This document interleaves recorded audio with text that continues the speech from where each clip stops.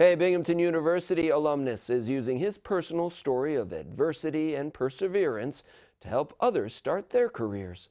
Bruce Freeman will be holding a seminar through BU next week titled Turning Adversity into Opportunity Career Planning in the COVID 19 Economy. Freeman's had to overcome multiple struggles, including an MS diagnosis that has confined him to a wheelchair, but, ha- but he has fought through them to become a professor, entrepreneur, as well as a published author. Freeman says this isn't a typical career seminar, but rather a chance to teach students to deal with and conquer adversity. One of Freeman's main messages to college students preparing to enter the job search is to show companies that what they can do for them.